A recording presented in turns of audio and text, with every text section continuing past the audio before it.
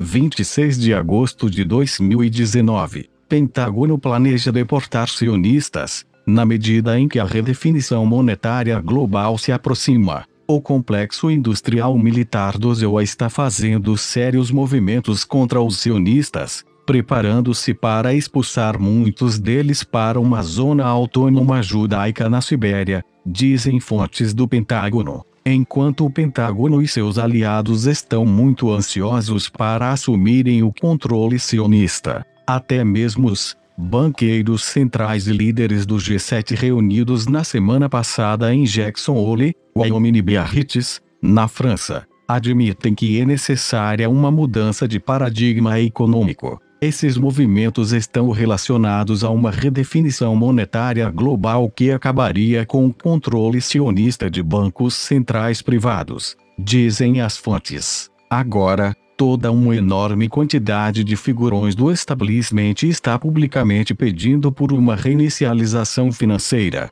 Entre eles estão a chefe do FMI, Christine Lagarde, o presidente russo Vladimir Putin, o presidente chinês Xi Jinping, economistas alinhados aos Rothschild e outros, todos eles pedindo a substituição do dólar por uma nova moeda internacional. Tal moeda, quase por definição, ficaria fora do controle sionista uma vez que os interesses da economia mundial e os do governo corporativo do ZEUA, controlado pelos sionistas, estão em conflito. A guerra comercial é uma frente para a redefinição global da moeda, confirmam fontes do Pentágono. O presidente do ZEUA, Donald Trump, chamou os diretores executivos do JP Morgan Chase Bank, do Bank of America, do Citigroup e outros para obter apoio para sua posição sobre a guerra comercial, disseram as fontes. O cancelamento, por parte do JP Morgan Chase de todas as dívidas de cartão de crédito no Canadá, a implosão do Deutsche Bank,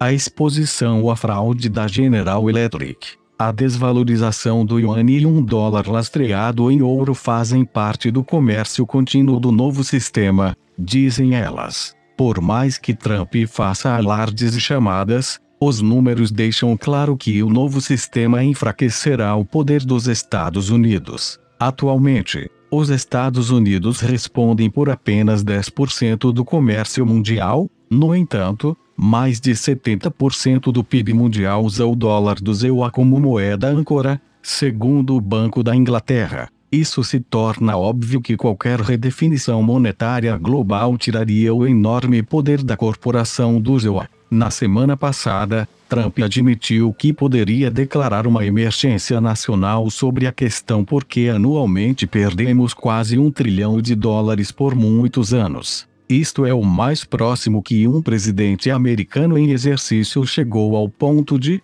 publicamente, declarar falência. Outras declarações e ações de Trump apontam para alguma crise existencial. Ele tentou assumir a Groenlândia e seus recursos, cobrar dos aliados custos totais das bases militares do ZEU a mais 50% e colocar tarifas sobre tudo que é chinês, tudo por causa dessa iminente inadimplência, concordam várias fontes. Militares do ZEUA estão se preparando para grandes mudanças, colocando o exército sob comando dos militares enquanto a marinha assume o controle das várias agências de inteligência, disseram as fontes do Pentágono. Isso significa que o novo chefe de todas as agências de inteligência do ZEU fontes do Pentágono. Isso significa que o novo chefe de todas as agências de inteligência do ZEU é o ex-vice-almirante da Marinha, Joe Maguire, o novo diretor da Inteligência Nacional.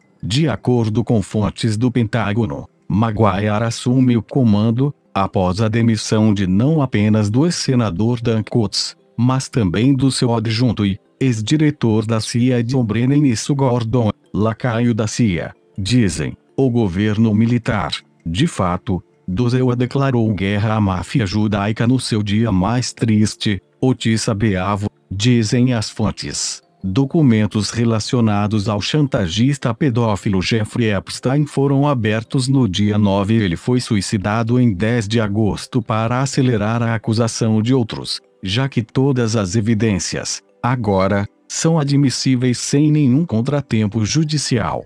Dizem as fontes do Pentágono. O primeiro templo, destruído em 586 AC, o segundo templo em 70 DC, a expulsão da Inglaterra em 1290, a expulsão da Espanha em 1492 e, agora, a máfia sionista no Tissabiava pode levar a transferências forçadas para a zona autônoma judaica no extremo oriente russo, na medida em que os judeus recebem justiça kármica por seus séculos de perfídia anti-GOY, declaram fontes do Pentágono. Tais fontes acrescentam que Epstein, aparentemente, seria um operacional militar que pode ter sido exilado para erradicar as operações de chantagem do Mossad no Ocidente, os parasitas sionistas, o megagrupo AIPAC e toda a quinta coluna israelense. Numa volta da vitória sobre satanistas e sionistas, Epstein morreu aos 66 anos, 6 meses, 22 dias igual a 66,6 anos às 6 da manhã do dia de luto judeu,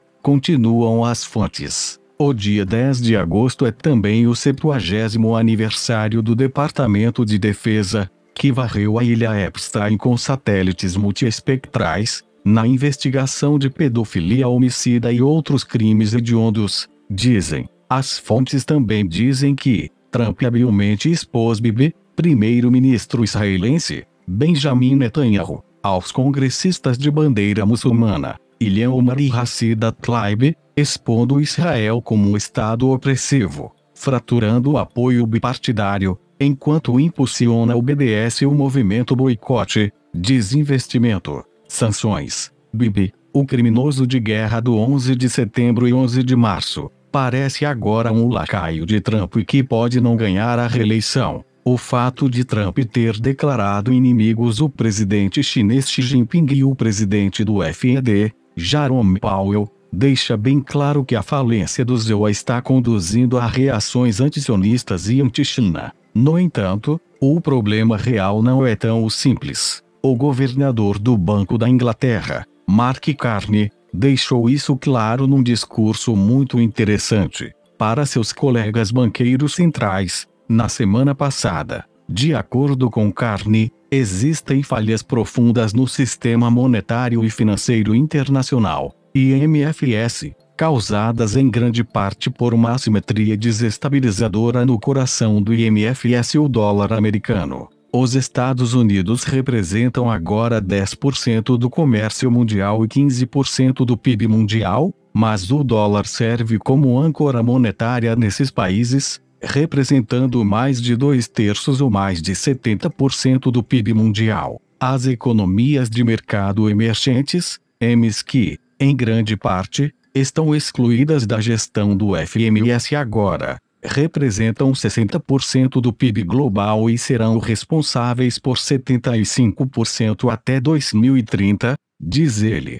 Sua exclusão do controle do sistema financeiro desacelera o crescimento econômico para cinco sextos da economia mundial. Carne, também, tem como objetivo o atual regime de taxas de juros ultrabaixas, observando que os exemplos passados de taxas muito baixas tenderam a coincidir com eventos de alto risco, como guerras, crises financeiras e rupturas no regime monetário. Carne conclui dizendo: Vamos acabar com a negligência maligna do FMS e construir um sistema digno da economia global diversificada e multipolar que está emergindo. Curiosamente, a análise de carne veio quando o Departamento do Tesouro do ZEUA emitiu a seguinte declaração: O secretário do Tesouro, deve considerar se os países manipulam a taxa de câmbio entre sua moeda e o dólar dos Estados Unidos com a finalidade de evitar ajustes efetivos na balança de pagamentos ou ganhar vantagem competitiva e justa no comércio internacional.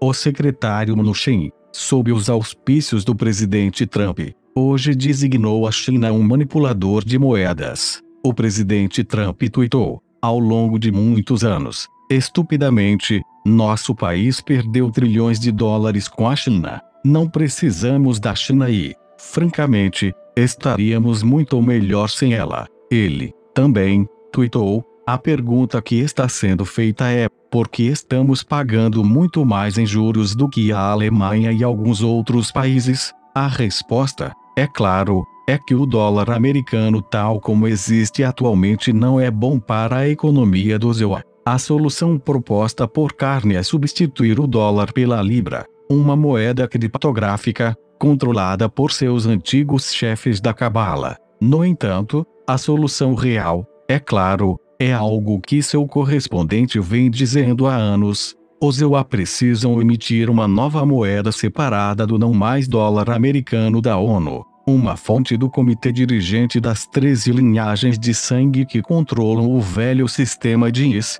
no grande esquema das coisas, estamos indo muito rápido, no banco de investimento chama-se aceleração. A fonte, um membro da realeza real europeia, diz que uma futura agência de planejamento está sendo ativamente considerada. Teria uma estrutura de votação baseada na atual realidade mundial e não no mundo existente, Após a Segunda Guerra Mundial, quando o sistema que agora utilizamos foi criado, diz ela, o mundo é como um superpetroleiro gigante com tanto ímpeto que a sua recuperação demora muito tempo, mesmo que haja um novo capitão que queira mudar de rumo. É por isso que, embora a mudança esteja ocorrendo muito rapidamente, através de medidas tradicionais, o progresso parece muito lento. No entanto, Será interessante ver o que acontecerá por volta da data de 30 de setembro, em que a corporação do João terá que fazer pagamentos a credores internacionais.